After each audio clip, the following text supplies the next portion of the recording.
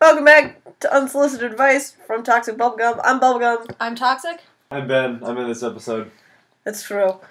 Today, we're talking about heroes. Specifically, we're talking about Infinity War. Welcome to the Infinity War special. Welcome to Toxic Bubblegum complains and or applauds Raves about? about Rave? Infinity War. Something like that. Also I'm not a fact. guest. I'm just in the room. Thanks for introducing me, guys. You're welcome. You introduced yourself. You You gotta wanna like do that. do a little bit more Like- about that. Can't just say my is- name. Your audience doesn't know who I am. This is- am. Not our host Ben Thank from Stupid Export, our partner channel. The one I'm not supposed to say nice things about. Right. Anymore. Oh yeah. So I'll also even, like, still be saying something mean about Ben only every time when any. only when uh, Bubblegum says something uh, nice about me. That's We'll the see. only way. uh, the other member of Stupid Export is not here. He's at work. Yeah, he's at work doing work things. I referred to him not by name, uh, just to be more difficult. That's just how it is sometimes. We've got a quote. yes, we do have a quote. Um, I think that we all do heroic things, but hero is not a noun; it's a verb. Uh, that's Robert Downey Jr., who you may know from movies such as Infinity War. And also every other Iron Man film and every other movie, Robert Downey Jr. He's a popular actor. Also, big spoilers for Infinity War. Yeah, that's all we're talking about. That's the downside of doing timely things. is spoiler season is upon us. We can't like do spoilers question mark anymore Yeah, this is because usually we're talking about things that are not timely at all. so spoilers. Yeah, if you haven't watched Infinity War yet, you should probably watch Infinity War right now, and then come back to the episode. Right, like We'll pause the see you episode. in like four hours. Yeah, it's because a goddamn long movie. Yeah, so I think that's the first thing. Holy shit, it's so long. It is a long movie. There is a lot going on in it It doesn't. consistently. So there's a lot of movies that can really sell you on how short they are that you like don't actually notice uh, until you walk out of the theater and you're like, wow, I didn't even couldn't even tell. This is not that kind of movie. Right. You're gonna walk out and you're gonna be like, shit. I definitely sat down for two and a half plus hours if you stayed through all the trailers and all the credits and everything. And it's an MCU thing, so you have to sit through the credits. Right, and let me tell you, I didn't need that. Like I could have used like I was excited about Captain Marvel. I was excited about that. I didn't need two more characters to die at in the order end to of be it. excited about it. Also, I think so. Obviously, the end credit scene is a setup for Captain Marvel. I think it'd be funny if it cut to Captain Marvel and she was dead. oh my god! That. That would have been better. Yeah. it would have been just the end. She's already gone. Cuts to her beeper and she's a pile of dust. Jesus Christ. Um, so one thing that I do want to talk about leading into this is that Popcorn. MCU. Yes, thank we have you. popcorn in the room. We do have popcorn when we went to go for see our movie special. Infinity War. Um, I do want to talk about uh, because this is the tenth year of MCU. Yeah, because that's what it it, was has been the- outrageously successful. Marvel stood 10 O's. Yeah. Yes, that's what. They put the little 10 pen in, the studios. yeah. and I was like, oh, Stood tens, as it were. Um, Iron Man uh, was, I believe, the first one. yes, Of- I. The yes, first one Iron of the Man actual off Marvel. of the canonical, and that was um, May second, uh, two thousand eight, I believe. Oh yeah, so that was like really. So it's like really close to being the ten year anniversary. so, uh, Our next anniversary movie is Deadpool 2, which I'm excited for. Mm. Where was Deadpool? That's a question I have. Is you uh like is Deadpool's Deadpool's to the Marvel is in the it's MCU not or is in it the MCU. separate M- it's a different It's- universe, right? Y- mm, It's a yes, Hmm. there's. It's really tricky uh, because of all of the lights, the rights, and right all the licensing, all the rights and shit. Um, the canon X Men universe has canonically accepted Deadpool into that, but it's being run by a different studio than who is doing Avengers because before the merger with Disney, they owned just the X Men people, which Mhm. is why uh, we're not calling Wanda the Scarlet Witch. Actually, was because that rights war was still going, Going, during Age like- of Ultron, So, So and X Men had the rights to Scarlet Witch because she was an X Men. what was the most recent one? Uh, the last the last X Men movie X Men movie was Logan, as I recall. oh yeah, that movie Yeah. did come out. Was that that was a Marvel movie? Mhm. Okay. Yeah. And then there was Days of Future Past, and then the one in the middle, and then Logan. An apocalypse. Apocalypse. Age of Apocalypse. That was the middle one, right? Oh, Days yeah. of Future Yeah. Past, Age of Apocalypse. Uh, Days of Future Past came out before Apocalypse. Yeah, Right. Days of Oh, Future Past, oh. then Apocalypse, then. Then Right. uh, Logan. I'm sorry, we started with Logan, and I was like, Oh, yeah, no, I We're going back. We're going somewhere with it. right. Uh, but yeah, so I think that's why Deadpool is. Was it's so funny because it's like they like had this and like everybody died and it's like then like Deadpool doesn't really factor into it because he's probably never gonna be fully over on that side, which is sad because I want that. Uh, but then also Ant Man and the Wasp is also coming out this year. So it's legit like where does this factor in? Because Ant Man does canonically exist in the MCU. Um, what I'm getting, what I am worried about for uh, Deadpool is that it's also going to be a group dynamic, Mhm. which is I wish they would not. it's gonna be rough. I think. Uh, Well, because the first one was so de- centered on Deadpool. Uh, which was really refreshing after all of the group stuff right. that we have. Cough, cough, Infinity War. Oh my god. It's a, actually Infinity War um, has been one of the best I think it, uh, group things because it was approached in a different way. But all of the things leading up to Infinity War, where they're like, Ragnarok's gonna be great, but also we've got to talk about the Hulk. He's here to like- talk about Black Widow. it was like. mm. I Oh man, that was definitely like a weak part of it. That, That was, was my like- least favorite part of Oh, Ragnarok. absolutely. It was like. Uh, my least part. So, look, can we talk about the Thor movies for a quick second? Yeah. sure. Let's, let's go. go. Did not see Dark World. Yeah. Uh, barely saw the first movie. Mhm. Saw Ragnarok. Ragnarok's very good. Ragnarok begins with like a bunch of characters from Dark World dying. Right? That's what happens. That's exactly Yeah. also what happens. That's the exact same thing that happens in Infinity War Yeah. to Thor. Is everything everyone from Ragnarok dies. And it's barely discussed. Oh yeah, it's like Like we meet all these characters, or we, I guess we don't meet all of. We see several of them. Of them, like we see Korg. We see uh, what was the Valkyrie's name? I feel like she Uh, that was my second least favorite part of the movie because they did a really bad job um, doing character development for Valkyrie. Yeah, 'Cause I don't yeah. remember her name. Dude, I hated her. I've seen it Ragnarok was so a like handful of times now, and off the wall. I didn't know if I was actually supposed to like try and be like enjoying this movie because it was like the Valkyrie is there, and I was like, she's terrible. She only does like bad things, and it's like, and now she's the good. She's with the good guys. They're friends. They're having a good time, and I was like, she's still like really mean and like not a good person. we still And don't know her name. Never like apologize for anything. I don't. Am I supposed to like this character? And then it's like, yeah, mm-hmm. Oh, she's dead immediately in Infinity War. it's like Maybe we didn't see her corpse. Uh, we had to assume so. They blew up the ship. Speaking of Infinity War, they did kill off my favorite character in like the first five minutes, so like that was a rough start for me. Uh, my that whole thing because the trailer uh, made it look like they were gonna kill off Iron Man, so I'm like, obviously Iron Man's gonna make it. Oh, um, that I that was- was in the opposite boat. But then it was like it was one of those things where it's like uh, because when characters are getting killed off, it's almost always my favorite, and it's like if Iron Man makes it, they're either gonna kill off Doctor Strange or Loki, and then they go, I'm like, oh, you they killed off Loki in the first five minutes, and then in like the And last, Doctor Strange would be safe. but then in the last five minutes, it was like, no, everyone's dead. You liked Black Panther? Black Panther is gone. You liked fucking anybody? They're gone. So they're all in the safe boat. Uh, so my prediction, we so everybody who got dusted is gonna come back. Yeah, Yeah. That's my production. Well, because My they have the prediction. time stone. I my But go ahead.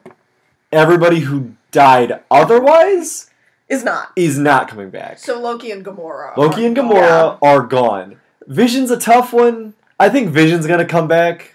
Well, yeah, because we have to have awkward romance that no one asked for. Right. I mean, we definitely. Keep have to having to do it. At least that one's true to the comics, I guess. That's true. Um, Isn't that the? Is that is that who Vision's married to in the Vision comic? You In the have, most recent or- Vision comics, no, they've uh, been separated for a long time. He's Mhm. married to another Vision. Oh god. It's great. if you haven't read, uh, what is uh, King's Run on the Vision?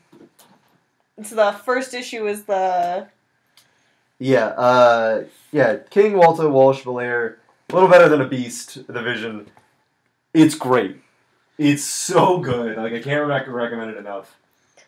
Oh no, wait. The first one is uh, a little worse than a man. That's what it was. and then it's, It's King and Walta. good. There's been a lot of good comics coming out recently, as it turns out. Comics are good. and if you want to, for anyone who isn't like one of the main Avengers who was in Phase One, if you want character development for them, read the comics. The Yeah. MCU's whole thing has been like, you don't have to read the comics. We'll get people in anyway. But if you want Like fleshed out. because since Avengers, we've been so focused on the group dynamic that if Mhm. a character wasn't established before then, Mm-hmm. It really it probably isn't going to happen the best right now. Because Vision, from what little I have seen of the comics, amazing character. Vision from the movies, like, yeah, it's He's very I don't- bland. I don't. There's nothing much. he showed to up him? at the end of Age of Ultron and was just like a character. yeah. Uh, and did the like the lifting Thor's hammer bit, and it's like that's fine, whatever. It's it's a thing that was like overstated in the stories, anyways. It was always the most annoying thing. That was like Thor is the only one worthy of his hammer, not literally any other Avenger for some reason. Uh, and then he shows up in uh, Civil War, which is Definitely a movie Like- that happened. uh, he's there for like a brief bit of it, and he's like doing a thing, and then like I feel like we missed like a bunch of stuff. Like I missed the Solo Vision movie that came out because he's like like a dude. Oh Like, yeah, and Yeah, he's they just made like such a big deal about like the last two years, which I'm glad they gave us a time frame. But what the fuck happened? What? Wait, it was two years. Yeah, because Yeah. that's what it, it was like. Shit, I didn't hear the specific time. Yeah, because it was like we've been doing this for like two years. So I guess it would actually be a little over two years, unless they just immediately started. They're like, after Civil War, we're doing this. Yeah. this is time. It's like, huh? What's happening? That's a happening? lot. Uh, do uh, it's one of those things where uh, I feel like because we just we saw Black Panther recently because it was the last movie that came out before. yeah, it was in theaters literally until the week before Infinity War came Right. out. And it was just, I love Black Panther so much, but it's like I feel like if you hadn't seen Black Panther, if you had not seen the solo movie, Mhm. absolutely lost, Oh, my God. absolutely Yeah. lost. Because it was like it was really funny because it was like because it had a throwback to the ending, like the after credit sequence where they were like, "We're gonna open Wakanda to the world and everything," and they had that line in there that's like, "When we said we were opening Wakanda to the world, this isn't what I thought. Maybe Yeah. a Starbucks." Um, that's something that's really interesting about uh, the cinematic universe for Marvel right now is it's finally to a point because for such a long time they prided themselves on like instead of ha- Iron Man two being the exception, they didn't have like Captain America and Captain America two. They had Captain America the First Soldier and Captain America Winter Soldier, and the whole thing was that you could start anywhere in the series and get a complete movie experience out of it. And Infinity War is where that really starts to turn around. Like you could not watch Infinity War and have any clue. That was the big like there was like a sort of debacle in the thing there that was like uh like movie critics were like you can't see this movie without seeing the other movies Yeah. and that's not a good thing and people were like but that's how sequels work like that's how sequels have sort of always worked and it's just sort of like a It's like a back and forth. It's like Marvel did really good making sequels that you could enjoy by themselves for a long time, but i- It's- if they keep getting more and more dependent on the group dynamic and on the overall arc, there was no way they Yeah. could have done it forever. And the downside of them having done that so well is that there are probably going to be people who want to drop in at Infinity War because they've seen it's the blockbuster. It's the blockbuster. You gotta see Infinity War. Right, and it's like it's also a thing where it's like because the Avengers was like the first time they brought all the universe together, but you could watch Avengers without watching any of the other movies, Yeah. like easily. It was so easy to just jump in onto it. but it's like there's so so much going on in Infinity War that's like I feel like we've always complained. I enjoyed it. What? I enjoyed Infinity War. Oh yeah, it was final like- rating. I, I would go like eight out of ten, probably. Yeah, I would say it's. I mean, you've seen it a couple more times. I've been saying like a seven, but yeah, like a, I rate it highly. It's one of my higher Avengers movies. It was like a legit. Like, I mean, I mean, like we're really tough on movies like all the time, and it's like I have my complaints about it, obviously, because that's what we've been doing for the last fifteen minutes. I Um. might definitely say it's my favorite Avengers movie. Oh yeah. I mean, yeah. are we, if we're talking just Avengers, Mhm. where do you guys think it falls? Like just uh, Avengers, in, Age- uh, Age of Ultron, and this one. I think. Um, in. What do you think? Well, first of all, I would almost. I know technically it was Captain America. Oh, I'd the almost Civil War. Civil Yeah, War Civil in War's there. in yeah. there. Oh man. Um, but it doesn't matter because it would not- be Infinity War. I liked better. yeah, And I think. I put it. It's really weird. Um, and this is something I was kind of talking about when we were uh, discussing doing this podcast. I think that um, it's a lot better of a story if you look at the structure from Thanos' point of view, mhm. which was really interesting, and it made me appreciate the movie more than I did the first time that I saw it. My first time, it was like this was predictable, and I knew what was going to happen, and I didn't like it. It was two hours of something I could have guessed in like two minutes. Two and a half hours, and a half and you hours. did guess everything. and I I guessed pretty much everything, and it was like so that was really disappointing, but it was a really interesting story. I think I do like it more now than I did initially, which I've had the opposite reaction with Avengers. I was Mhm. so impressed walking out of the theater for Avengers, hmm but I And don't feel like it's- it's aged as well as Right. It. What I, I'm hoping Infinity War will. It's tough. I feel like it relied on the gimmicks of the time, which is fine. That's why people were impressed with it walking out of the theater. it might be a thing that the more movies come out, that we have we do this every like three years. We're like, man, this Avengers are actually really good. the last one was fine. Yeah. Uh, cause it's just, it's weird. The mo- the movies are definitely just like, hey, bam, watch this. This is amazing. It's so cool. And then you sort of sit down and you're like, it's fine. Yeah. So in Infinity War and Avengers would be right up there for me. Um, I do think that Avengers has a little bit of an edge, uh, just because it. I'll revisit it when Infinity War Part Two comes out. Yeah. Because from looking at the character standpoint, I didn't feel like there was enough resolution to justify how much exposition they had to have. Yeah. Mhm. But it's the first half of a story, also. It's the part that doesn't uh, that they really sold it. Like I feel like everywhere I heard it, they were like, it's not a part one and a part two movie. It's like it's gonna be a whole story and then like a whole story. And like you said, it's it's better when you look at it from Thanos' perspective. There is a beginning, a middle, and an end to the movie. Yeah. But it definitely, like, from the hero's perspective, it just ends. Like, it just There's- fucking ends. It's like ninety percent exposition if you look at it from the hero's point of view. Yeah. Right. There's like a whole bunch of setup, and then right when the end of the movie feels like a middle of the movie, Yeah. and it's just like, all right, now we get going, and then it stops. And then it's like, and you're oh, like, oh boy, we gotta have a couple movies in between. I can we all agree though that Age of Ultron is the worst? yes, If we're absolutely. just talking Yeah, no question. Okay. Absolutely. It's, I think it does so many weird things. Age of Ultron, Civil War, Avengers, Infinity War, I think. Here's the thing: I liked Civil War, but I feel like had it been an Avengers movie and not a Captain America movie, Mhm. it would have been a lot better. Well, because it tried to justify Captain America's point of view so hard when he was really not that right. What really bothered me about that wasn't even because I knew that there were going to be too many people. I knew that they were going to have a lot of stuff going on and uh, just be throwing stuff at you. There was like that weird Spider-Man segment that just kept going. They're like, "Here's Ant-Man, and here's like this guy and this guy." Let's settle on the. Let's land on the Spider-Man moment. Everyone go see Spider-Man: Homecoming. It's You're like, like, oh, Spider Man's gonna be.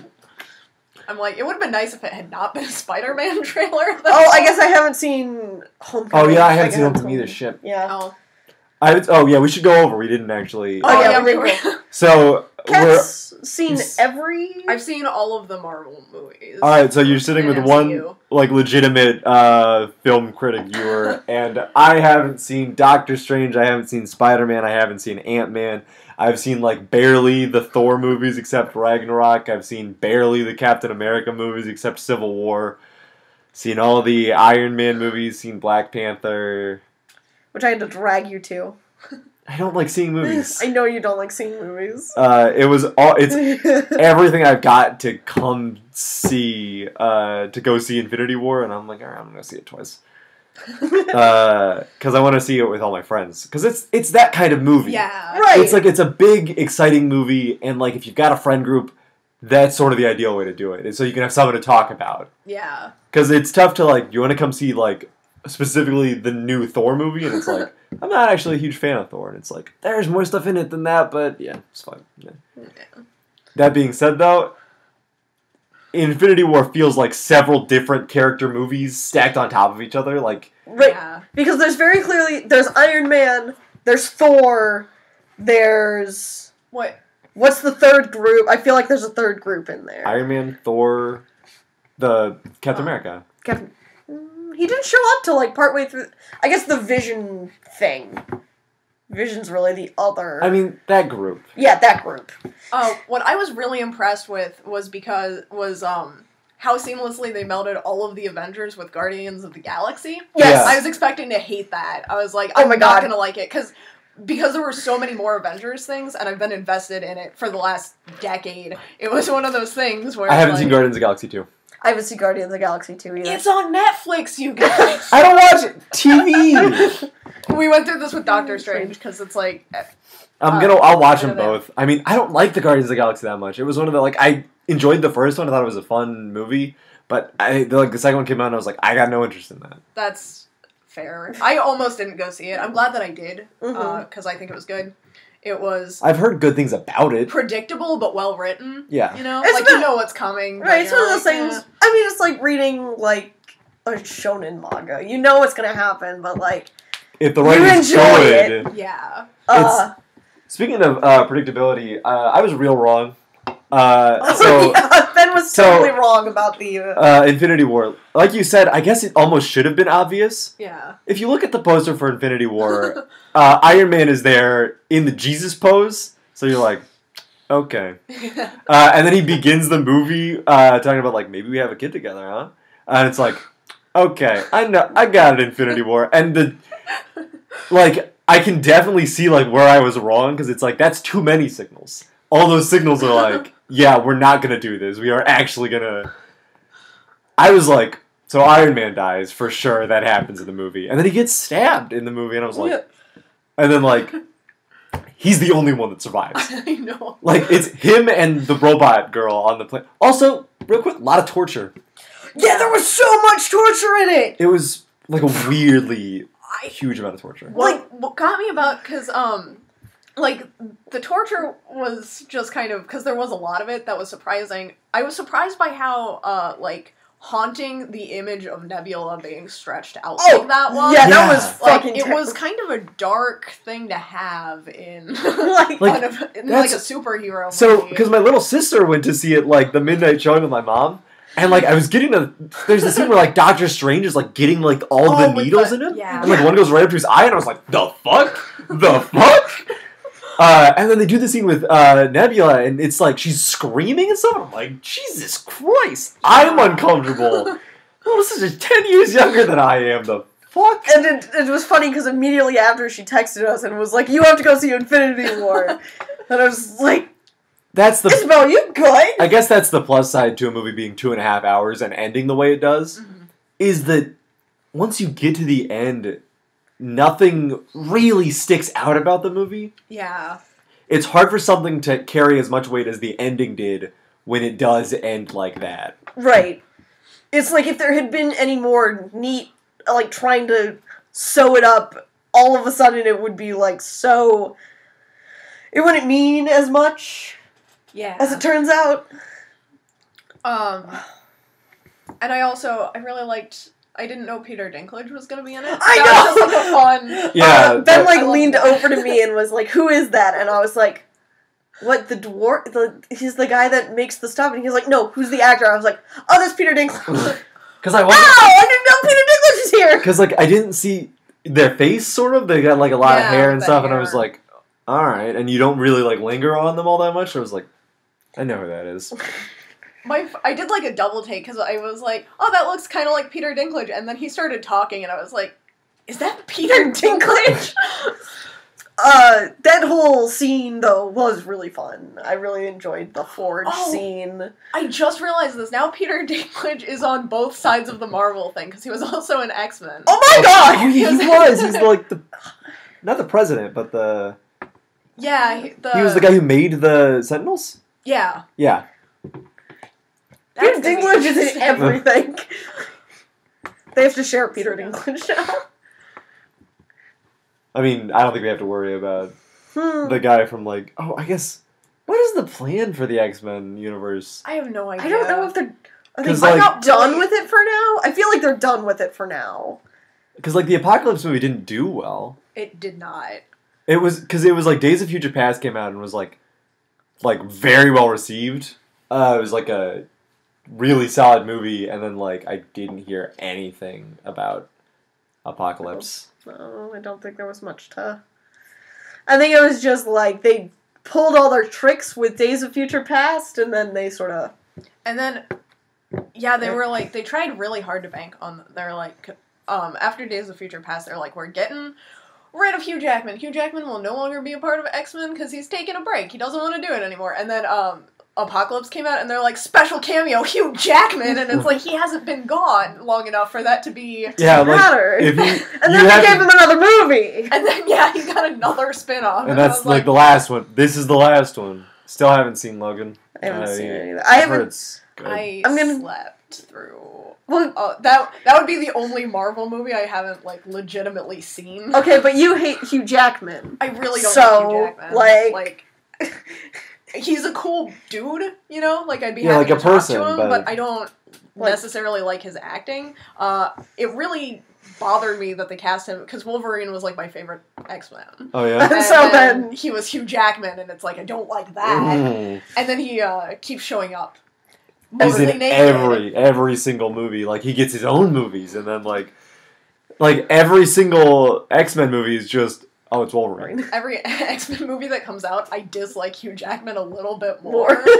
Like. Also, torture scenes, it turns out. oh yeah, Because they love doing that with Wolverine. There's the fucking scene in Days of Future Past where, like, uh, Magneto, like, puts a bunch of rebar through him and just, like, drags it through him and, like, sinks him in a lake, and it's like, Jesus Christ! I'm gonna be honest. I haven't seen any of the X Men movies. Uh. I saw, like, all of them except, like, the third one. Except and I Apocalypse? No, I, Or- the original ones, the Oh! X1, X-Men X2, X3. Didn't see X3, barely remember X2. I remember a couple specific scenes out of X1 because everybody remembers yeah. what happens when a toad is struck by lightning. Yeah. It's the same thing that happens at everything else. Wow. Writing. I really do like that line. Like, not even joking. It's one of my favorite lines in cinematography. Favorite lines of cinematography. That's not the correct wording. We've gotten off topic. Who's Yeah. uh, so while we're here, while we're talking about um, heroes, which was the inspiration, if not the theme of this podcast, who's everyone's favorite Avenger? Let's talk about that. Iron Man. Of course, that that seems right. I'm gonna Seems be right. about not Iron Man. I like Thor. Thor's my favorite. Do you like? Here's the question though: Do you like Thor or do you like uh, the mythology surrounding Thor in the movies? Ooh, If you didn't, yeah, if you didn't know Yeah. anything about, if you went in completely blind, you were a fresh formed person, a new human being, fresh off the assembly line. Yeah. And you walked into Avengers. Hmm. Would you still like him as much? Are we talking about like first Avengers, like the first Avengers? If you saw every single Avengers movie, every single Marvel Cinematic Universe movie I mean, in a line, fresh off the assembly line, you've just been born. I think I. You are put in front of a TV screen, This is torture. eyes held open. This is Clockwork Orange. this is actually Orange. torture. I didn't want to say it because I didn't want to be wrong. It was close. Ludovico method. Yeah. Yeah, and then you watch every single Marvel Cinematic Universe. Well, I think I would hate myself first and foremost. I don't. I still think it would be Thor. Yeah. I still think it would be Thor. What do you think about uh, Thor's new Infinity War look? He just went back to being regular Thor. Like they took out his eye in the last movie, and then they just gave it They're back. like, we're gonna give you this great eye patch for like two parts of a Just like your dad. And 'Cause, like- now you're done.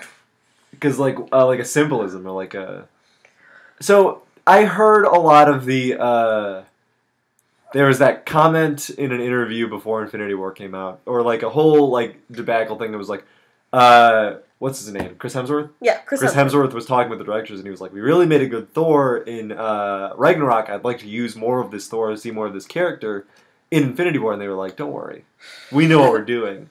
And everybody got like really worried. and They were like, "Don't do this."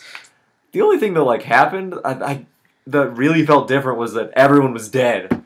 But then he was like, they took that character and moved him. So it was like, Which, as it turns out, is like because it was like it was weird because he was still still being witty like he was in Ragnarok. Because it's like the whole scene with the Guardians of the Galaxy was like a whole thing, uh, and it was like you should be sadder. he is sad. He was real uh, torn up. They have the whole scene with Rocket in the pod. I feel like that scene almost should have come first. I was gonna say, what? How witty was he being on the ship? Hmm? When he first met them, I don't remember him being all that witty. They were being witty around him. That's the true. scene That's was probably very uh, lighthearted, and that's sort of the weirdest thing about the Guardians of the Galaxy in the movie Mhm. is that they're still very lighthearted because it's a Marvel movie, but almost too much so. It seemed like a very. i think it's one of those things where it's like they wanted the Guardians of the Galaxy to be kind of the comic relief, but Right. it came out as too stark of a contrast. right. Like because it wasn't because when you put a man who has literally just lost in his entire family and his entire uh, lineage and everything else, and then put him with the Guardians of the Galaxy.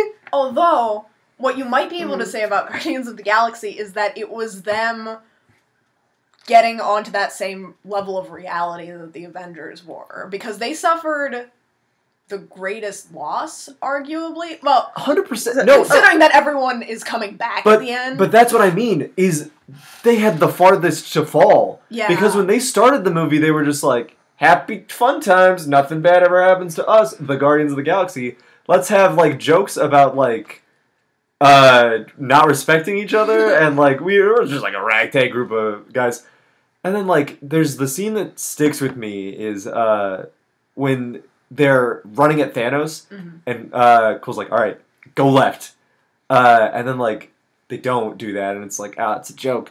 And then he has to point the gun at Gamora, and he's like, "I told you to go left. I told you to go I- left." he says it because the first time, and she's like, now, really? And then the second time he says it, it's like, It's like, God damn, yeah. what is going on in this movie? And then she dies. Then she literally dies. Well, and then it has the scene afterwards where they're like holding Thanos, and like Quill realizes that she's dead, and he's like, "I had to do it," and he's like, "No, you didn't.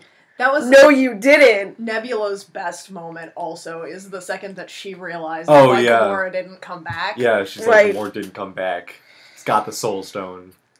Um, not like, uh, because I feel bad saying this now that I know you guys uh, haven't seen it. Uh, it's really weird because of the note that they left Guardians of the Galaxy 2 on. Oh, yeah? Because it ends at a funeral, and it's like. it Jesus was Christ! Really sad, and it was like one of those moments where it's like, um, I cried. Do you mind if I spoil Guardians of the Galaxy? Do you mind if we spoil Guardians? It's is it Yondu? Yeah. Okay, that's what I thought. They ended at, and again, it was really predictable because, like, right at the beginning of the movie, uh, Yondu's talking, and he's uh, to one of the other Ravagers, and they're like, "We will never have Ravager colors over, like, when you die." Yeah. And it's like, so Yondu's gonna die this movie, like Yeah. you know, like 15 minutes in. But the funeral, um, he gives like a nice speech about his, like, how Yondu was like his real dad, and the Ravagers show up c- to fly the Ravager colors anyway over his funeral, and it's like a nice moment. But it was like it was really tear jerking, and you're like, Guard, you know, this is how they're gonna get Guardians of the Galaxy onto that serious level before Infinity War, and then they were still like the comic relief. and it's like, and it's that part of it that made me so like that felt so off about it because when it got serious, it just felt almost disingenuous. yeah, So because there's the part where he's pointing the gun at her, and it's like, bi- considering everything that's happened up to here, it just felt so weird. And then there's the part where Quill is like uh, attacking us, and it like it, like it upset me because it's just it's so goddamn starkly different than the entire rest of them in the movie. yeah, It was like we didn't see anything like.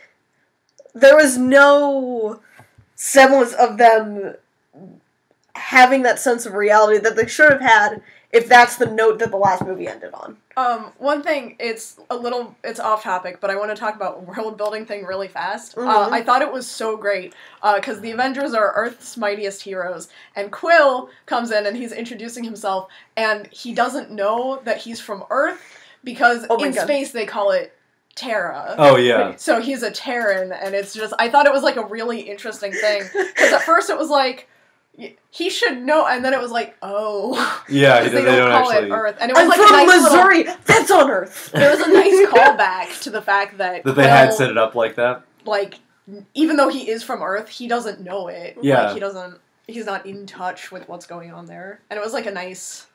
I liked that. Yeah. There's also there's a lot of really funny scenes because if if nothing else, that's what Marvel movies are really good at is a lot of like lighthearted, funny scenes to offshoot things, and it's just like it's a great touch that I always uh, enjoy about them, but it's tough to balance Yeah. Yeah. when you're like you can only have so much of a roller coaster before you start getting whiplash. I think it's one of those things where for the comedy, because they had to have some lighthearted moments, but I think they tried to have too many to outweigh how dark the movie was when they didn't need to do as many, because in context, a little would have gone a long way. I feel like we talked about this when we were talking about like horror movies or something like that. It's the darker something is, the less you need, the less y- you need comic relief because the The comic, relief you do have, have goes. yeah, it's gonna way. be enough, and it's it's gonna I it keeps setting you up and then dropping you back down. it's one of those things. I feel like this is a me and Ben have this grievance with Disney movies all the time is because the Disney movies follow a formula, and this isn't like Marvel movies or I mean they sort of do, but like specifically the animated movies is because they have a lot of build up and it like, and then they always have the low point. There's always a drop every time, and I never need to see it. Um, one thing, It's like like also with the structure i do think that one of the reasons why uh, they melded as well as they did uh, was because even though it had like the writing of a typical adventures movie uh, they used the formula of a guardians of the galaxy movie mhm. and it was like it was a subtle thing but they used like the same sort of things that they had done to get us used to looking at different worlds Yeah. right. They Oh yeah, you're right. They did do that. yeah They had like the planet They text had and the everything. planet and the, text and the- everything. I do like the. Yeah, they did like the uh, text for the world, a different location, and then the planets and stuff. It's cool. it was nice. It was so they were definitely following. Uh, I the MCU movies I do think also follow a structure. It's a little bit more open ended than like a Disney. Right, it's more different than like an animated Disney movie. I'm trying to remember. Oh, it was because uh, we talked about this after we went to see The Cat Returns. Oh yeah, Because it was just like, obviously this isn't the same because that's like a children's movie. I don't mean, but it didn't have the depressing part. it didn't. It Yeah. didn't have that low point that Disney movies always have. It was just like, oh no, that's pretty bad. But I mean, like, I never felt like bad.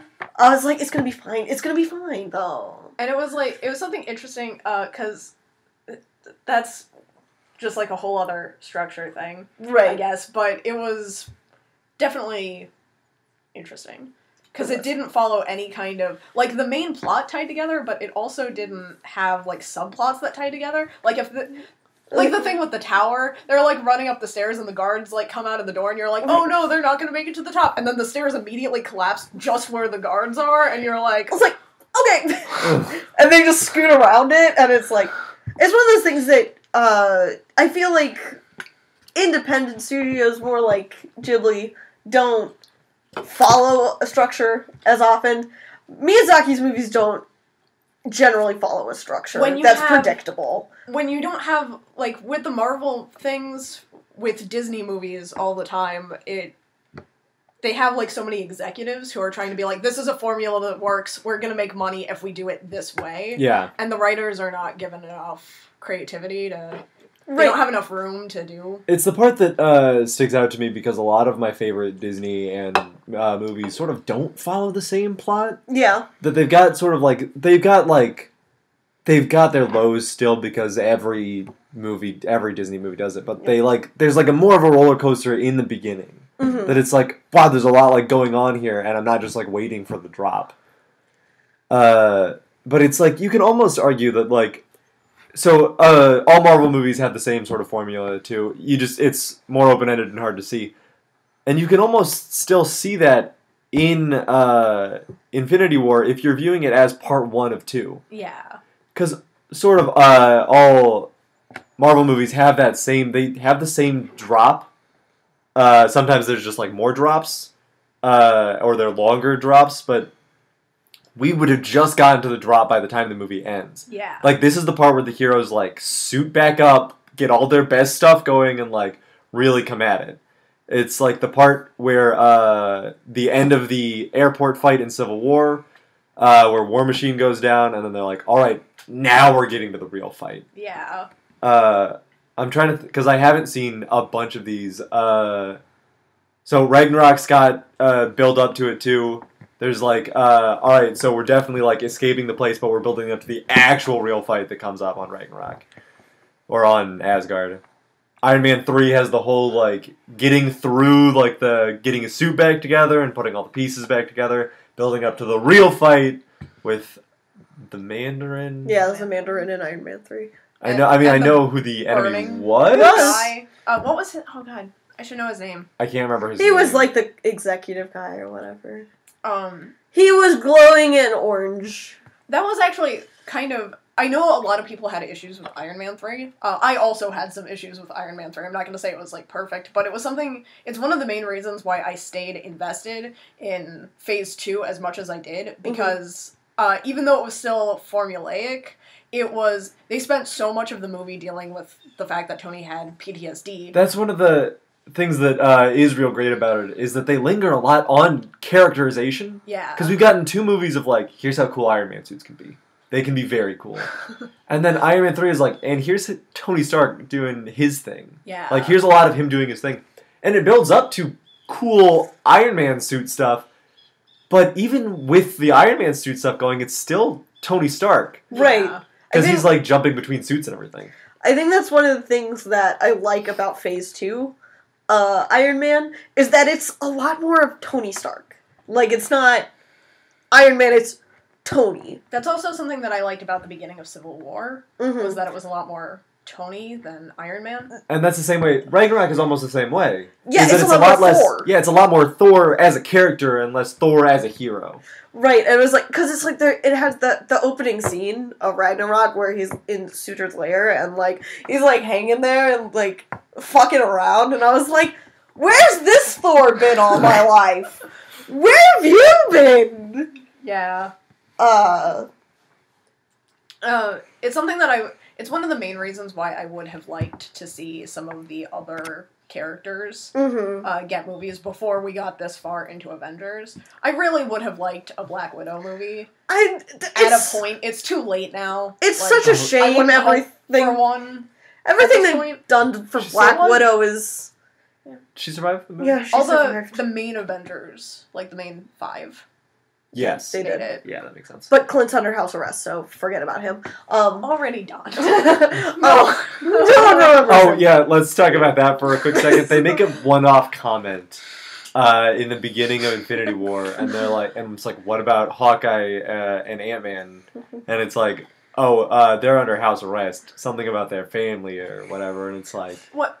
It's like, wait, huh? huh? I had a lot of questions about that because it's like were were they under house arrest by their family because their family didn't like them fighting, or were they under legitimate house arrest because of the Sokovia Accord battle It's like that we've completely forgotten about, What is- except for except for that, that like, one other comment like about it. Rhodey, It's like- what happened there. Um, it was was like I can just send the executives away with this cool button because they're project like It they're is being projected. odd. There was, uh, it is just sort of a surreal thing. It's like arrest them, and it's like, are you fucking stupid? you. You saw the goddamn spaceship in the sky. What's our plan? We literally, you don't have a plan. We never see any like any of that ever again. There's no like government stuff that shows up. We could have used a Hawkeye. We could, at, at any point, maybe somebody just literally put an arrow through Thanos' skull. Like, Right at any point.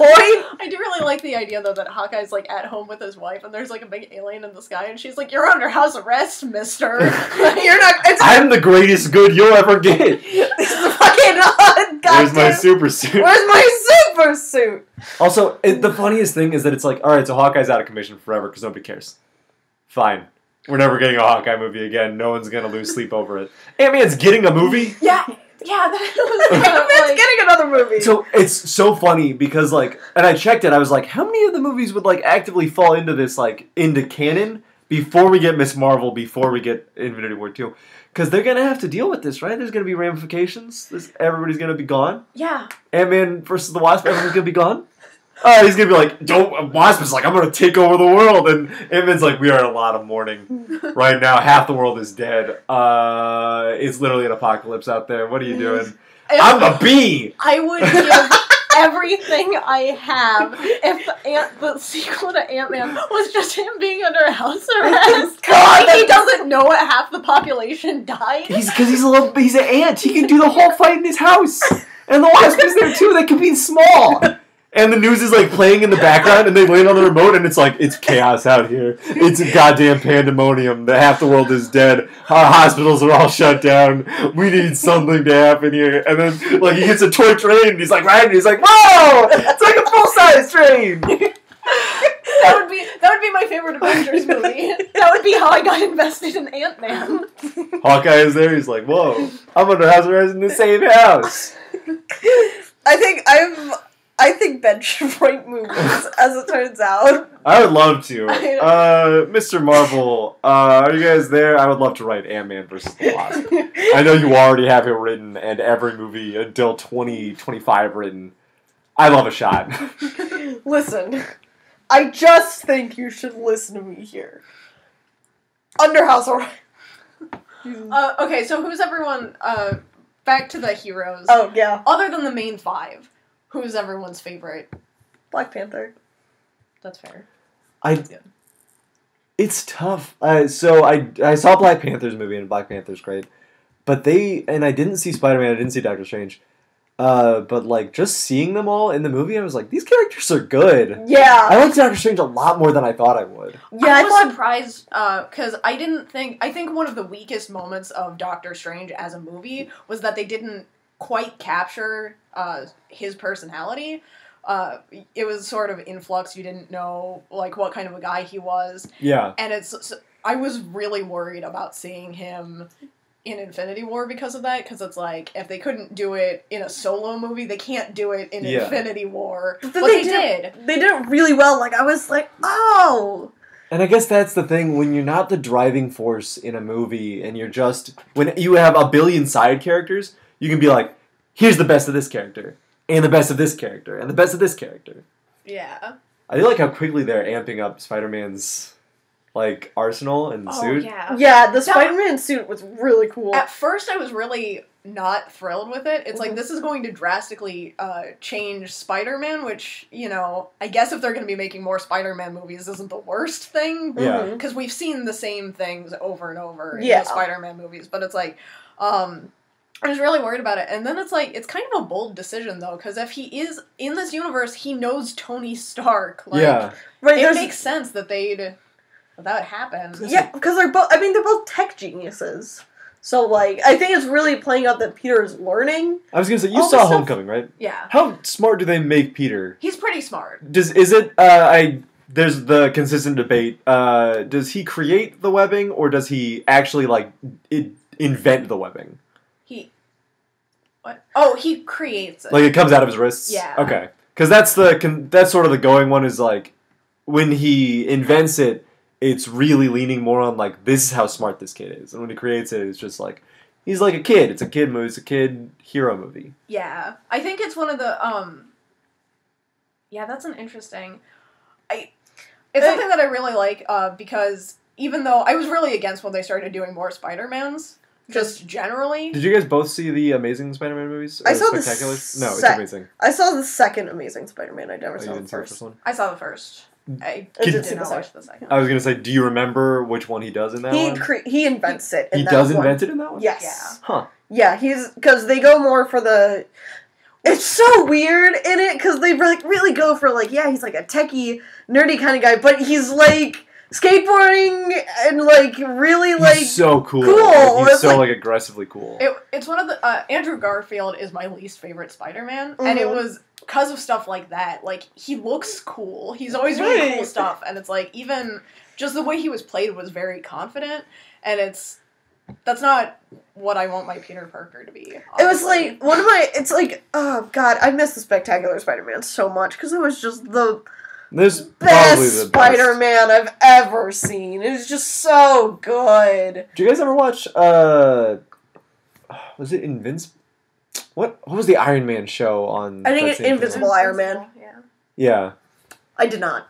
it was a good one. It was like it was sort of this. It was like a reverse premise. It was like uh wherein Tony Stark is the teenager instead of. uh It was Tony Stark as a teenager, and it tells the whole story from that perspective. And I think it was really good. It's one of my favorite like Mandarin I've ever seen. I- I saw like uh the beginning of it. I've been wanting to go back. I would. I mean, I maybe should. I haven't seen it in a long time. I can't like judge it now as a TV show, but like I remember it being real good. There was also some parts of it that I were like, they put MODOK in that, uh, Oh, that's and the terrifying. MODOK is terrifying. Oh. Like so often, MODOK is like literally a joke. Like he's so often a joke in like everything he shows up in. So when I saw him in that, I was like, the fuck. Oh god. like, do you guys want like a sure. spoiler of a scene Oh, for yeah. it? Go ahead. He looks at the Iron Man suit and he lists off like he's like Tony Stark and he lists off like a bunch of different things about him. And it's just like Jesus Christ. like uh, it's just like so terrifying because like no, he doesn't. He's a secret identity in that one. It's not like normal Iron Man where he's like, hey, I'm Tony Stark. Look at me, billionaire. Closes the mask. I'm doing that stuff. It's a secret identity. So when MODOK shows up and looks at him and lists off like everything about him, it's just like, oh, okay. oh no. Uh, here's a question: What's everyone's favorite uh Marvel show? Uh, like as a serious show, uh, Spectacular Spider-Man is down, down, hands down my favorite. Love it. Everything. I have a special space in my heart for Superhero Squad because it was so fucking stupid. what a show. What a legitimate TV show. What a I- like fucking show it was. Oh, I have like my sister for my birthday once got me a teddy bear and made it a little Doctor Doom outfit like the one in the show. So I have a little Doomsy bear. But I was like that was, I was like we watched it. It was like so stupid. It was so dumb. But it was like it was really sort of what more turned me on to Marvel. Cause I was like That's so weird. I don't think I've ever heard of anyone being like superhero squad is why I like. It was oh man, it was just surreal. Like I remember like seeing episodes of it and I was like, this is a TV show? Who is this for? Wolverine was one of the main characters in it. Like it was like I forgotten about that. Oh god. There was like a not there was like a character that came up with just for superhero squad. Like he was like a dinosaur kid. That was his whole shtick. He was like dinosaur stuff. And it was like, this isn't the fuck there's like a billion characters in Marvel, right? We didn't need to make one up. You know, There's literally Beast Boy. I probably Exists. try this DC. Oh, that is DC. I probably could have gone through my whole life without ever thinking about this show again. Too bad I brought it back. Unfortunately, We me haven't my actually- history of shitty media. We haven't actually had a full conversation about like Infinity War. We've like I, we bring up a part and then we get on a tangent. We bring up a part, get on a tangent, bring up a part, get on a tangent. That's how it works. That's how it works. I was gonna say, yeah, it's probably the Iron Man show or the Spectacular Spider-Man. Both of those were really good. There was like a period where it was like a bunch of sweet stuff. It's like uh, the Marvel animated stuff is always so good. Mm. Oh, uh, actually, okay, never mind. Sorry, I was thinking about DC again. Uh, Stop. I need to stop that. Uh, Marvel either has really bad animated stuff, or it's over the top. It's over the moon good. Yeah, it's like very good. Uh, because sometimes it's Spectacular Spider-Man, and sometimes it's whatever the new Spider-Man show that they came out with immediately after it is. Bad. It's not Spectacular Spider-Man. Bunch Or of Blue just- Jays. Did one of them run in the window? Is that what I heard? It's close. Or Agents of Smash. What? What? You guys haven't heard Agents of Smash? No. It's the Four Hulk TV show. It's Green Hulk and Red Hulk and Gray Hulk and She Hulk. Oh, so it's like okay. a Four Swords I- adventure, but the Hulk. But the Hulk. And it's like wacky and it's goofy and it's like a joke show. Like Yeah, the like- show is made as a goof. We hope. People would spend money on that, so Red Hulk uses guns and stuff. I I know all these Hulks like actually canonically exist. I didn't know Grey Hulk actually existed. Yeah. Red Hulk I had heard about. She Hulk I obviously had heard about. Not sure about Green Hulk though. You guys ever heard of him? Hmm, that sounds suspicious. Hmm. Not real. What about don't like yours? Oh, um, Jessica Jones. I like Jessica. Jones. Mm. Oh, my that's favorite. So that's the. We're not just talking about. Oh, so yeah, we also haven't seen any of the Netflix stuff. I've seen the- a little bit of Luke Cage. Watch Jessica Jones. The first seasons of Jessica Jones, and everyone's gonna be so mad at me for saying this. I shouldn't do it, but I'm going to. You're going to. The first season of How Jessica fucking Jones, dare you? Oh, sorry, you had. to I uh I liked Luke more, arguably. How fucking dare than I you? did in Luke Cage. uh, I did like that they got into his uh, character more, but he's just one of those. He's such a fascinating character Mm-hmm. anyway that it's one of those things where it's like seeing him on Jessica Jones. It made him kind of like mysterious, and I it, they went an interesting way with it. And then Luke Cage came out, and they're like, "This is literally everything that's happening Mhm. with Luke Cage," and it's like, mm, So you've seen all of it? Have you seen everything? uh, yes, Cat watches. Daredevil, yes, uh, Yeah. Daredevil, Jessica Jones, uh, Iron Cage. Fist, yes. Luke Cage. Uh, I haven't seen the only one I haven't seen yet is Defenders. Yeah, I was gonna ask if you'd seen Defenders and everything. Uh, and it's just because I haven't gotten around to it yet. The MTU, Yeah. the Marvel televised universe. Cat's too busy watching every other piece of media in existence. As well. MMU, Marvel Netflix universe. yeah. Not Uh, quite cinematic. Where the right. fuck were those assholes? Is that canon? Is it canon to the Marvel Cinematic Universe, or is it still like a different thing? I think it's a different It different has thing. to be a different thing. That's it's really interesting because they keep they made there was such a big confusion around whether or not Agents of Shield was canon to the MCU. Right? Yeah. And Did you there watch was, that like- one, by the way? I did. God damn! You really fucking just watched everything. I really yeah. Listen, Where do you gotta find the time? Uh, I have insomnia, Right? Yeah. so also she's a writer, so she works these at home. it's good. Um, She has cats sit on her a lot. I write while I'm watching all the different Marvel shows. Um, it's all just fan fiction. So it's like I also assumed that the other TV shows would also be in that not quite canon hypothetical area. Uh, Jessica Jones this last season has made a lot of references to like Captain America, Hmm. Huh. and they like they keep making um references to things that happened in the first Avengers movie. Oh, like the invasion. Yeah. Huh. So it's like that makes it seem like it's canon, but then also like We cut back to it I season know- two. They're dead. And it's Everyone's gone. They've all been dusted. It's like um, because I know it exists in the same universe as Luke Cage because there was all the tie-in. Um, I'm pretty sure Luke Cage exists in the same universe as Agents of Shield because I feel like that was something that they talked about when it was released. But then if Agents of Shield isn't canon, I don't know why they keep referencing Avengers. Yeah. It's really weird.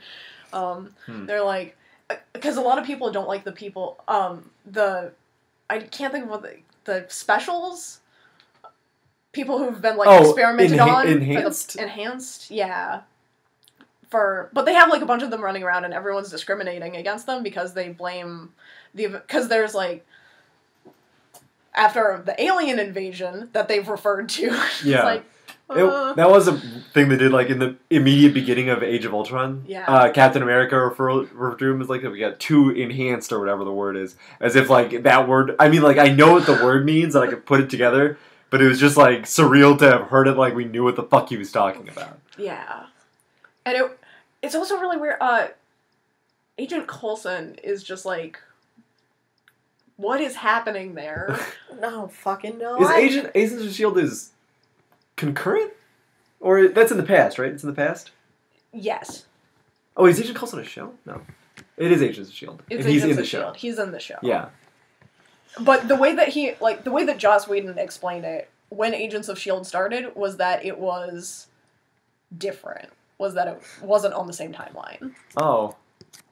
Huh. So weird. Because like everyone was like, "Does this mean?" Because he died. Yeah, Right? Does this mean yes. he's back? And he's like, "It's in like a different universe that's happened," which is why I don't know if there's been any like official statements on whether or not it is since then. But that's where I got the impression that it did happen on a different thing. So it was like, uh, just because he's on the show doesn't mean that he's going to be back for Avengers, which he hasn't been. Which is good. I think that's a good decision they made. If I'm they had- not a if they fan. brought him back, I thought he was a great character. Loved Right. him, but it's like if they did that to me with him after they'd already done it with Bucky, I would just. Yeah. like that's too much. Oh yeah, speaking of, we were talking about that in the car a little bit. Uh, you guys had some brief thoughts on that one. I was like, I haven't seen Winter Soldier, so I don't like. I don't know if I'm supposed to like Bucky, and you guys were sort of vehemently like, "Don't worry about it. You're not supposed to." No, you. Here's the thing. You are supposed to like Bucky, but like, I mean, that's the thing that Marvel movies sort of always get me on is like, it. Marvel wants me to like these characters, but doesn't want to actually like make me like them. here's the. It's like one of the things. It's like uh, I think they do really well in Black Panther. Uh, it's because uh, Killmonger is the villain, obviously. Uh, and it's like they do a real good job of making him like an enjoyable villain, but without resorting to like the because like you sympathize with him, like you're like You understand the why and the right, and it's like he's like like seen with his like his father after he gets buried and everything, and it's like it's really good, but at the end of the day, you're like no, you obviously obviously this isn't the side I'm on. And it's like with Bucky, it's like I mean, like I get it, it's like the brainwashing thing, and it's like multi-layered and shit like that, and it's like, God, it's rough. I feel like a lot of people liked. I was really surprised uh, because there was so much fan material for Bucky after Winter Soldier, and I did not get the impression that there should have been. Well, like on my way out of the theater, I just didn't like him, and then he was such a big fan favorite, and it's like I That's so. like- That's the thing that got me was that I assumed that at the end of like Winter Soldier, everybody really liked him. So I, that's what I was just like. Winter Soldier like did a great job of like getting the character and everything, and I was like, oh, huh. How does? Sorry, how does uh Civil War start? Oh, they do. They do like sort of break the mind control on him, right? Like that's how it's a little bit at the end of Winter Soldier, and then it actually happens in Civil War. That Yeah. was what. Yeah, Yeah, because I forgot that that's how it happens. yeah, because Steve is like, I have to save Bucky because he's not mind controlled anymore. And it's like, All that. Oh, he didn't kill those people, and he didn't kill T'Challa's dad, Black Panther's dad, or he did kill him. Which one happened? oh man, I mean, in I- s- It's time for the Civil War trivia power hour. Cat, I hope Oh. you watch your. Uh, my first question is: Did in Civil War did Bucky kill Black Panther's father, or was it the Russian guy? I think it was the Russian guy. I, was it? What? Because I feel like by the time he died, I need to. Bucky was already on the lam. I maybe uh, should have rewatched Civil War. Um, Civil War is like one of the only ones I haven't seen. Civil War and Ant Man are like the only two like big MCU. I'll believe you if you say it was the Russian. Guy. I'm gonna say it was the Russian. I think you are wrong. Oh, I'm pretty sure, like I'm almost 100% confident that the plot of the movie was that the Russian guy figured out Bucky's uh, words, Mhm. the words to uh, activate him, his Yeah. kill his kill words. oh, he his trigger words. I feel like there's a different word for when you're like. I mean, it's like the sleeper agent. Sleeper agent, yeah. Uh, The sleeper agent shit. but yeah, I feel like so a lot of the plot is him getting to him, telling him those words. Uh, Bucky goes and does a thing, and then like they captured him, and then the Russian guy was there, and he was like and told him the words, and Bucky was like, "God damn it!" And then Bucky went on a tear through the fucking place, uh, and the world was justifiably like, "We need to like put him in jail." Or something. Uh, one thing that really, I think it could have been really interesting if they'd had a better way to utilize it is because at the end of Winter Soldier, you really didn't know if he was going to get better or not. And then Yeah. Civil War, like, we saw that he was a little bit better. But then there's such a big gap, and then he's just, like, fine. He's been working out. And it's, yeah. He's been working out in the fields. And I it's guess. like, I, it's an interesting. Also, why didn't they give him his arm back sooner? Why couldn't they like give him an arm sooner? because you just got to learn to live without it. It's part of the. It's he's he was doing he was out in the fields like just working the whole time. Yeah. He wanted to like forget as much of it as possible. You know what I mean? That's fair. To like move on. Uh, we're sort of pushing our time limit now at this point. yeah, Yeah. that's true. Uh, I was supposed to order a pizza. I Didn't do that. Uh, I guess I should. I could do that like immediately. Uh, can do that right now while we're still talking. Yeah. So what I wanted to say, there's a comment uh, Rocket Raccoon makes there's the joke about the eye, and he was like, "Oh, that's funny." Before, uh, and then like uh, Bucky lifts him up, and they like both shoot their guns in opposite directions. It's like, well, that's kind of cool. Uh, and then Rocket Raccoon is like, "How much for the arm?" Or like, "I'll get that arm," which is like funny and like a callback. But the arm doesn't do anything. It's just an arm. All he's all Rocket Raccoon saw was him lifting up with it. I can lift you up with a normal arm too. You're smaller. You're a raccoon. It's not hard. Anybody can lift a raccoon. Why do you need an arm that does a lift a raccoon? Because he also he steals body parts. Yeah, that's So I- that it, I mean, I know the joke, but it's just an arm. Uh, it is. We don't actually see any of the cool stuff that the arm does in that movie. We just give him an arm as if it's like a, oh, like a big deal. Like, oh, it's your arm, and then he shoots a gun, like just a normal gun with it, and it's just like yeah, it's fucking like, this guy. But They like give him a fucking like they're in Wakanda, like the most technologically advanced country on the shit. They give him a semi-automatic to fight with. It's like no, it's a full automatic. They give him Yeah, but it's just a gun. It's A just gun! A gun. Not, e- they, it's not even a Uh, fancy so- gun. uh, Bucky and Falcon both have like normal guns to fight all these dudes, and it's like we're in Wakanda, we're in Wakanda, right? We got like laser guns and like fucking holographic and like projections and shit. We can't give them one of these things. War Machine's got a lot of guns, several guns, so that's fine. That's acceptable. We could have given them, them something else to work with, probably. it's one of those things like uh those people who brought their own weapon to that fight. It's a little bit more understandable. But yeah, if they armed him on Uganda, they definitely should have given him a laser spear or whatever those things are called really. that they were like. Where did they even get that gun? Was that like his gun? Why would Wakanda? Does Wakanda have like normal guns? I don't think they do. I don't know where they got that. Ugh. They have one apparently. They have one for Bucky. He brought it here. he had it in his back pocket. It was in the hand. like, He was gra- gripping it. They couldn't make him let it go. You guys keep talking. I'm gonna order pizza. Let's go order pizza. So, so is that our I- end of our media segment, or yeah, I guess uh, the one like, do you have any wrap up notes for? I liked it. I thought it was good. Uh, I feel like it had strength in how little we went into some of the characters. Like, because like you were saying with like Luke Cage, like when a character's mysterious, Mhm. that adds more intrigue to them. That make it makes them more interesting and lingers with you. Um, and while a full-on character examination can be fun, sometimes you don't need it. Mhm. Uh, and I think that's probably what I liked most about the characters in it is we really didn't get too in depth when we didn't need to. Um, that's good. I one last off-topic thing about Luke Cage because Yeah. I did complain about it. I think I actually I only really like Luke Cage. Mm-hmm. Um, it's probably my second favorite of the shows, but you can't compare it to like the other Marvel shows Mhm. because it's a lot. It's paced so much slower, It's which is like very different. I like that they took a step away from the very fast paced things that they had been doing. Um, it paid off really well in terms of character, but it's just if you look at all of the other action things that are happening, Luke Cage develops very slowly in comparison. right. You can't like you can't go into it expecting the Marvel experience. Yeah. Trademark. Um, but yeah, Infinity War I thought was really interesting. I wish that it had come out before we did our villains episode. Uh, 'cause yeah, because Thanos would have been a great was a really good example of he's doing these things because he believes he is right. He's, he's a doing dummy. these things to he's an save idiot. people. He is an idiot. It's the what's the there's a s- term for that type of villain, but I can't remember what it is right now.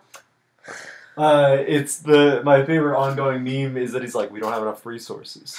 I gotta kill half the population to save the world. Make more resources. There's fucking the uh, the Thor Thanos conversation that's like on Tumblr. It's like I gotta kill half the population to uh, g- spread out all the resources. And Thor is sitting there with Starbucks. Hey, couldn't you just make more resources? And it's like Thanos is blocked. It's something I wish that they would have gotten into a little bit more because it's something that not only do I think they could have explained, but it would have made it more interesting if they had gotten into like the concept of The exact matter. Yeah, the exact uh, exactly what would entail. Because I feel like there's like a like a counter argument. You'd be like, how long? Yeah. How how many resources could I make that could possibly sustain things forever? And it's like, all right, so now you can think about it, but no one was ever gonna like have that conversation with Thanos. Nobody in the film, even like as a wacky like side goof. What What do you think would have happened if one person had just like sat down and talked to Thanos about math? like, If Tony Stark could just sat there and be like, "This is all the resources you need. This is how many. This is how you would spread spread that. This is how we would distribute them." Like, I'm your uh, financial analyst analyst. Instead, he just got a bunch of people calling him his dad instead, and that was that's unfortunate for the internet to know. I think. Uh, uh, I did like seeing. Just moving on I did like seeing Baby Gamora. Anyways, Baby Gamora was very cute, that was. so that was that was a good scene. That was a really good scene. It was fucked up, but it was good. Uh, I watched a video just the other day uh, about what it took to get Zoe Saldana into the like Gamora getup. Yeah. And it's like I am. I was impressed I imagine it's a lot. because it's one of the. I hadn't really noticed uh, how intricate her design was. Because Mhm. like I mean, you look at her and you can tell that she's Zoe Saldana, but it just like there were a lot of little details that I didn't catch about like uh, her facial structure. Right. Like there's a bunch of like little things. It's like really subtle. But it took. Uh, the thing was that it took like five hours every day of shooting, and it's like I wonder how that went with the kid. yeah, that was the most confusing thing at the very beginning. I saw like a like a set shot, uh, and it was like her sitting next to like the child version. I was like, "The fuck happened in Guardians of the Galaxy 2? That didn't happen." Wait a second. no, it didn't happen. That Didn't happen. It would have been interesting. It would have been. ooh.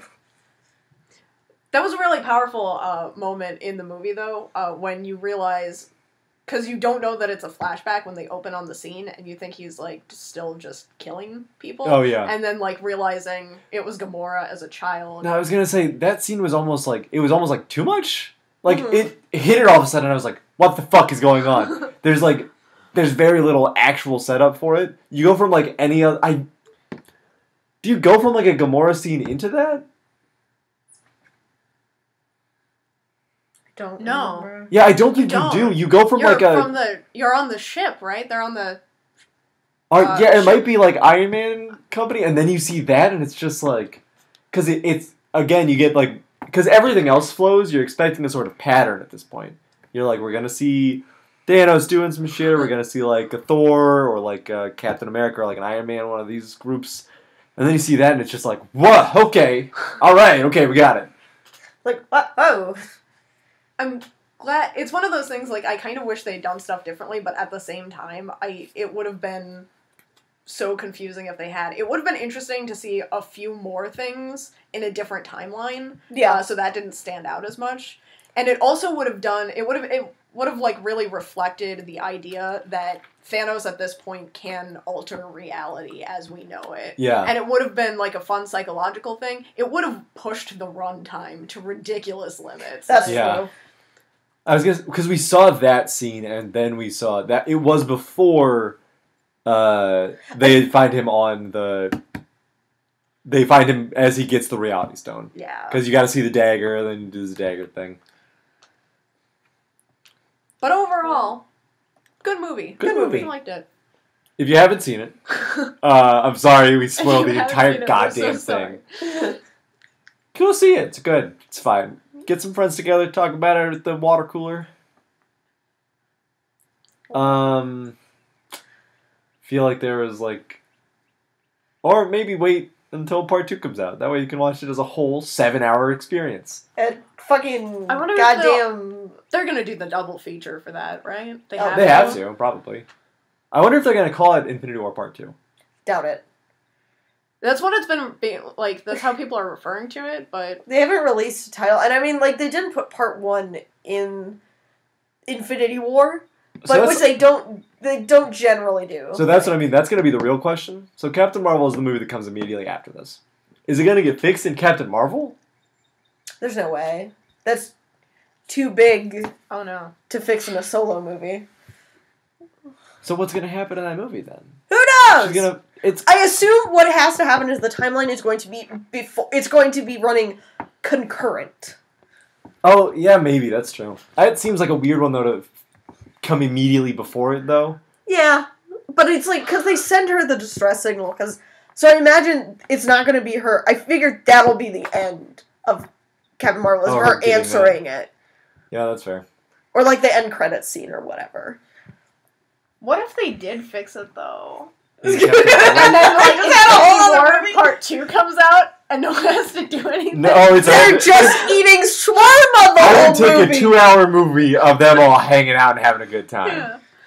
I'm ready for that Also- motherfucking beach episode. As a just as a total thing, Tony Stark is a shell of a man at this point. yeah, honestly, Yeah. Like everything always happens to him consistently. gets taken away from him. uh, yeah. Um, I really wish that we had seen what was going on with Pepper. Yeah, Did Pepper die? Yeah, that's what- that, if oh my if we come back to Earth and Pepper is gone, Tony Stark's straight up gonna kill himself. What if okay? What if that was just how Part Two started? Like he goes and he's like, uh, "I need help. The fate of the universe rests on my hands." And like he's talking to her, and like the chair spins around, and she's She's not, not there. there. I And would, like a pile. that'd be so bad. Like because in uh in Avengers, he's the one who takes the bomb into space and comes back and he's like got PTSD over that. Uh, and then we cut to Iron Man three, which like nothing particularly like terrible happens to him except there's like a weird bit at the end where like Hulk was asleep the whole time and it's just like weird. Weird yeah, that was like that's like not like a. no- that's not like a not joke. that's like a not joke. And then Civil War comes out, and he realizes that, well, number one, he gets like attacked by this guy uh, who kills a bunch of people, namely his parents. Uh, and Civil War fucking kills me so bad because it's a Captain America movie, so he has to be right. The opening to goddamn uh, Civil War is like Iron Man's like, I'm trying to make the world a better place. Here's like the Tony Stark fund for like a bunch of colleges, and you all get scholarships. And then the lady comes out and she's like, "My son is dead because of you, because of you." And then Captain America like blows up a building, and he's like, "I'm still in the right. I have to do this." And they're like, "No, well, you just you got to do rules." And he was like, "You're wrong. This guy killed your family. Here's a video." And then Iron Man's like, "I gotta fight him," and he's like, "You're wrong." You turned into John Mulaney. Bam! Uh, and then it's like that's a fucked up thing to have happened to him. Cut off all like all of his friends, and then it cuts to this movie, and he's like, "I'm getting back together, like me and Pepper, like in a good relationship." And oh, things are happening. I'm Spider Man's here. Oh, I gotta take Oh, out Spider Man. everyone is dead. I'm on the planet alone. My suit is like destroyed. I got stabbed. It's just me and a blue robot person. I'm 400 billion miles away from Earth. I watched everybody die. Uh, I held Peter in my arms as he faded from this reality and told me he was scared. Okay, that by the way, uh, the "I don't want to go" thing is the same line that makes me cry every time I watch Doctor Who, and I was, Oh, no! I Yeah, was that is expecting the- to cry over Doctor Who in fucking Infinity War. I'm watching. I'm, I'm watching Infinity But War, but in my heart, I'm watching Doctor Who. It, it was like it was one of those things. I was so invested in the thing, but he said I don't want to go, and I saw David Tennant. I was like, oh, You're like phased out of this reality. oh, yeah. But they give Tony a rough time. It's always bad things for him. Everything goes fine for like other characters. Maybe they die. That's the best thing that could happen to his character at this point is he dies. But they won't let that They happen. won't let it They won't let him die. Every movie, every movie he's been in since Avengers, it's just been like a shit time. Yeah, that would be. Because I know, oh, at one point Robert Downey Jr. wanted to leave, Yeah. and it's like I wonder if that's still he could sacrifice himself maybe at the end of Infinity War 2. Infinity 2. War Two, Yeah. That'd be so and maybe then bad stuff doesn't happen. then uh you see it like then I was right the whole time. yeah, you were right. because then It you watch the that it happened entire uh, movie and you're like at the beginning and then it's like oh it's smoking gun in the middle maybe oh he doesn't die and then he does die at the end i would put my chips down Tony Stark Oh. dies the end of the next avengers nice. That would make Let's me really find sad. out. Be sad. Yeah. yeah i'd be sad also but like It would be good right. Maybe it's Like- okay. Maybe it's time to let him go. I I don't think about it that often, but it really is every single movie. Yeah. It's uh and i keep i am like in closing thoughts i say this every time i'm getting less invested in the in the cinematic experience that marvel is giving me um i almost didn't go see black panther actually Mhm. it was like because i have to draw the line somewhere i have to i can say that i'm gonna cut myself off but i haven't yet Yeah. and I, but It's then been ten years. the reviews were so good that it's like okay and then i wasn't gonna miss infinity war yeah. um but it's like it, Should probably see Captain Marvel, I guess. So maybe I gotta see Infinity War too. I mean, if they killed off iron man that would be your stop. stopping point. like you could finally be it would be a good resolution uh but i wouldn't care also if iron man left Yeah. like It'd be like, that's fine, I can be done. um i also just in things that are impressive in fun infinity war facts it broke so many records Oh, I'm yeah? very proud uh it was at 250 million it was the highest uh opening weekend at the box office Hey, it beat out Force Awakens, which held that previously, and then in international releases, it beat Fate of the Furious Huh. for six hundred and thirty. Right? Is that Something right? like that. Got That's six hundred thirty dollars. Yeah, six hundred and thirty dollars. Damn, only a couple ticket sales. it's okay. No one liked Fate of the Furious. Why was it Fate of the Furious? I don't know. That was. I don't. I wish I remembered uh, like what the exact number was on how much Fate of the Furious made, but it was like the world record release Huh. opening weekend Well, I mean, I guess until that's- Infinity War. I mean, people like fast cars and explosions, so like I can't fault them for that. Is that the one where he dies? Is Fate of the Furious the one where he dies? I mean, it's like the I don't last one, quote unquote, until the next I last can't. one. I I know. You've been following. I know. I can't sit through any of the Fast and Furious. I don't blame you. I just remember hearing about like the song and everybody was like legitimately sad about it, and I was like, I guess people do like watch these movies. I remember. Oh, oh yeah, Yeah, you remember. You heard yeah. about it. Okay. They did the video. Yeah. Yeah. The Yeah. music video. And the... Sad. It's a sad song. I remember the only like I haven't watched any of the Fast and the Furious. I mean, like I did, but I didn't watch them. I feel like I went to go see like a Fast and the Furious movie that was not a Fast and the Furious movie. It was called Red. It was like Red Two. I saw like the sequel. I didn't see the first one. Someone offered to take me, so I went. Uh, but it was like I was like that was a good movie actually. It was fast cars and explosions. It's like was it makes for a was cool good. movie. I mean, it's like a cool movie going experience. That's one of the reasons I wanted to see Infinity War.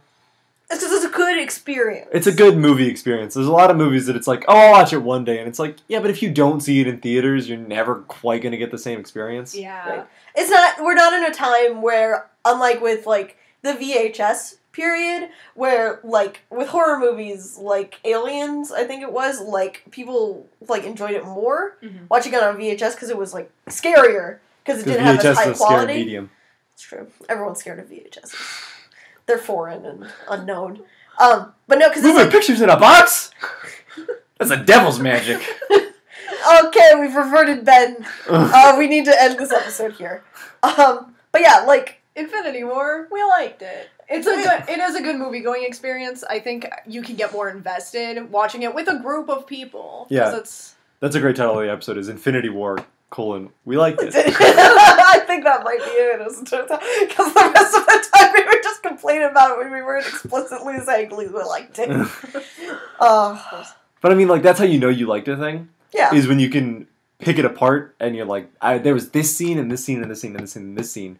Then and it was like this scene felt like it could have been done better. And the only reason you think that is because like you want You want it to be perfect. Yeah. You can pick it apart, and if you still want to see it after that, Right. like, oh because that's the thing we're going to see tonight. Yeah, we're going to see it tonight with the uh, so other. that's a so. great. this With the going to be other- my, uh, with the other stupid export person who we will not will continue to not name because Right. And then maybe one time you can actually have us on as guests maybe yes. instead of just being in my house yeah it's the easiest place and then to I record. can. I'm talking into the recording thing. Anyways, I've been your host Ben. Wait a second, hold on. Uh, this has been not Cookies and Milk episode. right. No, that's wrong. This has been unsolicited advice. I'm your host, Bubblegum. I'm a uh, genius billionaire playboy philanthropist. Tony Stark. I'm Ben. I'm toxic, actually. Oh! Yeah, I'm toxic. High five! Nice. That is one of the funniest things is that Tony Stark consistently gets like very good, like funny lines. Like this guy's a wisecracking, fun having, good time. And then you analyze and you're like, the fuck? Let this guy have a break. He's coping! and on that, we'll see you next time. Bye. Bye. Say bye. Bye.